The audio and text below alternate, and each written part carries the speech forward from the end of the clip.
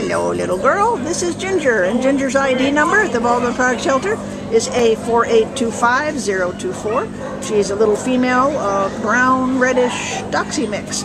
She's about four years old. She came in as a stray on April 30th, and she came in, as you can see, with a broken leg. Poor little girl.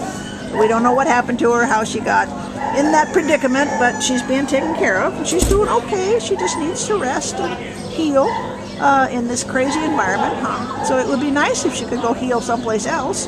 If this is, uh, oh, she's so sweet. What can you tell us about her, Jeanette? Is You she- know, she's just a real soulful little girl. She's real sweet, but she's a little little scared being in here. We're shut down, and I think once she gets out of here, um, she's gonna just blossom. But um, you know, she's got a little bit of healing to do. But she's a great little dog. Yeah, yeah. She, oh, she just needs some quiet. And uh, if you've got a nice quiet place in your home and in your heart, please come and meet Ginger. She's available right now, and it would sure be nice if she could get out of here. Huh? Don't you agree? Yes, you do. Okay, sweetie.